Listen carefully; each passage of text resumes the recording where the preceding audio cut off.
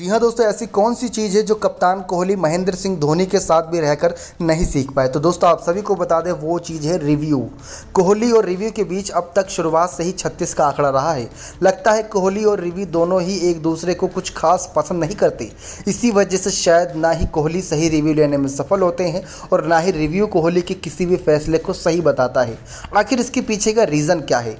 क्या यहाँ पर गलती होती है? आप सभी को बता दें कि इंडिया वर्सेस इंग्लैंड के बीच खेले जा रहे लॉर्ड्स के दूसरे दिन भी दोस्तों यही कहानी एक बार फिर से दोहराई थी। हैरानी की बात यह थी कि इस बार कोहली को रोकने का भी प्रयास किया गया, लेकिन उन्होंने किसी की एक नहीं सुनी।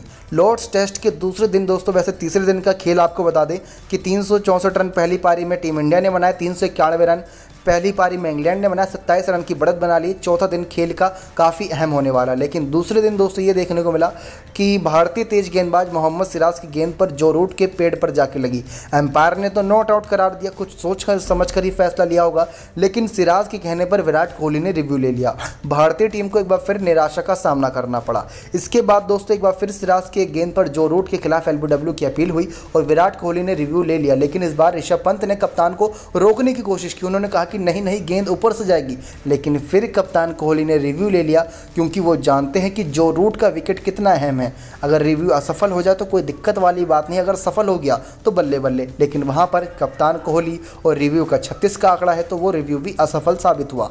बता दें कि भारतीय टीम के लिए पिछले चौबीस रिव्यू में से इक्कीस रिव्यू बर्बाद गए हैं, जब जब कोहली ने फैसला किया है। सिर्फ़ तीन रिव्यू ही भारत के पक्ष में रहे।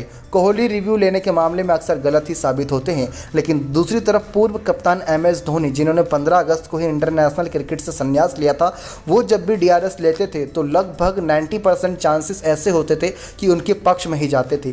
कई मौके पर एम्पायर्स कॉल्स को लेकर फैसला गलत होता था, लेकिन उनका जो नाम बदल दिया गया था डीआरएस का दोस्तों। वैसे तो रिव्यू सिस्टम होता है, लेकिन दूसरी तरफ़ होता है धोनी रिव्यू सिस्टम। ये नाम रख दिया गया था डीआरएस को लेकर।